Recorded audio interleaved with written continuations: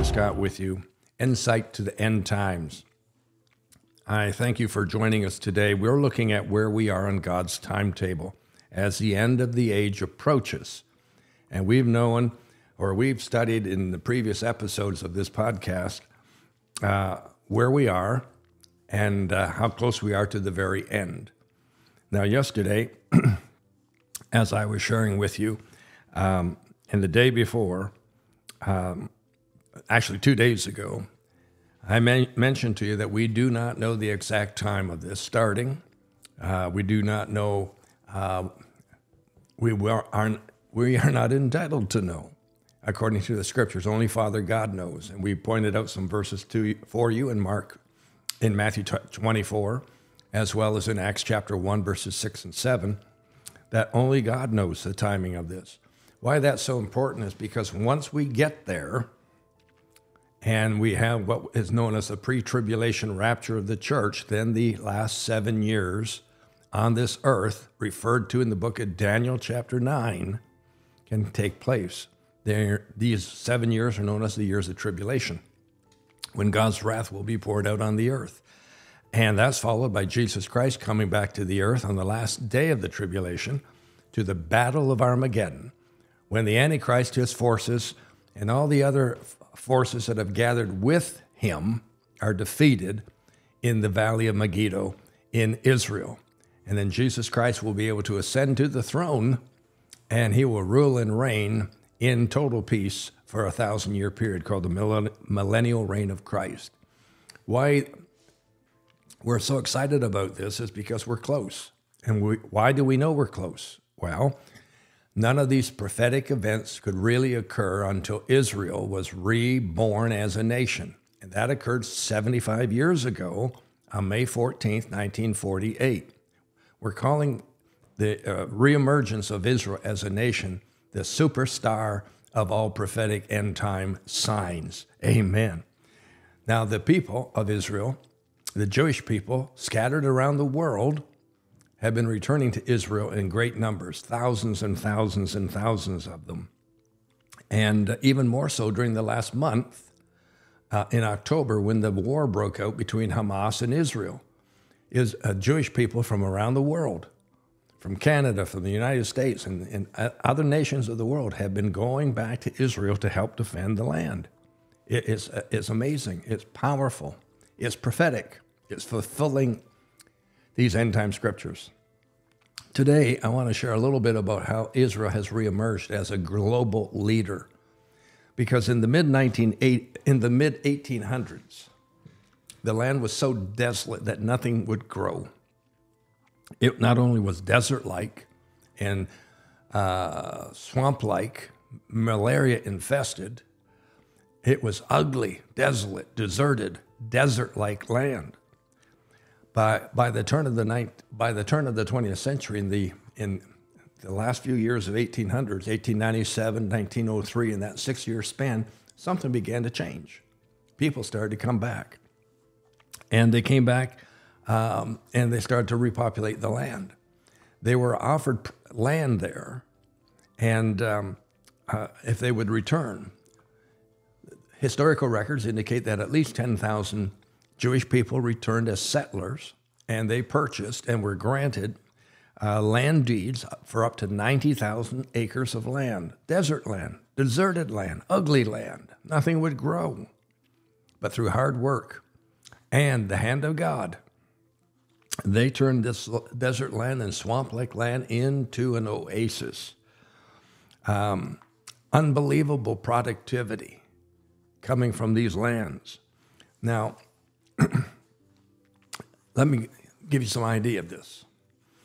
The nation of Israel is now one of the greatest producers of agricultural foods of any nation in the world.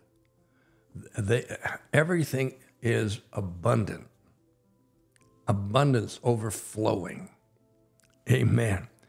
Uh, in the year 2021, Israel was ranked as the 11th most powerful nation in the entire world in 2021. That's just barely over 70 years of existence. They went from a deserted, desert like, non productive land to a land and a country that is considered to be the 11th most powerful nation in the world. That's interesting because of the 10 nations ahead of them, nine of those 10, the first nine nations, have land masses and populations that far, far, far exceed Israel. And Israel's landmass, uh, the land itself, only comprises something about 8,500 square miles. 99 other countries in the world are larger than Israel. So, how do you go from a completely desolate land to the 11th most powerful nation in the world when you're working on a landmass that's only 8,500 square miles? I live in southern Ontario, just north of uh, the Great Lake, uh, Lake Erie. And we could put Israel on the north shore of Lake Erie, and it wouldn't it wouldn't extend from one end of the lake to the other. That's how small Israel is. And it's amazing what they've done in such a short period of time. Um, I'm going to share more about this tomorrow with you because it just amazes me what God has done and what the people have done. Because the hand of the Lord is on their side and is behind them in everything they do. Praise God. Amen. Let me give you some more statistics. I hope these don't bore you, but I find them just staggering. You're wonderful. Israel has a military score determined by the U.S. News and uh, World Report. They rank at a, with a score of 97.6. That may not mean anything to you, but that puts them in the top four in the entire world.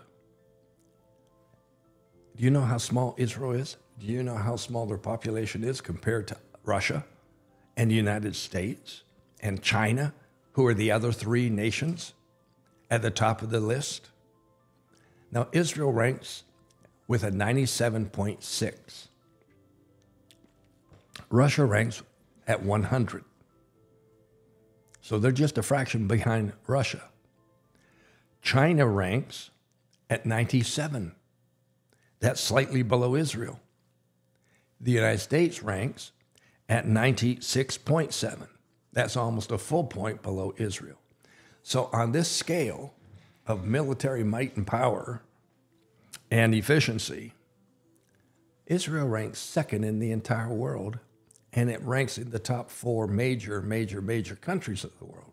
They're the fourth country. They're a, a they're a speck compared to the United States or Russia or China. Unbelievable. Hallelujah. Let's talk about the economy for just a moment. They rank second in the world for new startup companies occurring. Second in the entire world. Wow. So, these prophetic events that we've been talking about for the last year and a half, all the scriptures we've been covering, all the scriptures that point to the end, all the scriptures that point to the things that must occur and will occur and so on, could not occur until Israel existed. They came into existence in 1948. We're 75 years into their existence. Israel was unbelievable, really unbelievable. I'll give you another figure here. Um, at the turn of the century in 1900, Jerusalem was a city of 28,000 people. Just 28,000 people. 48 years later, they were deemed to be a new nation. And at that time, their population was 800,000, not quite a million people. We're in the last days and we're about to see some supernatural things occur. It is getting to be so exciting. I trust you are ready. I'll see you tomorrow. Amen.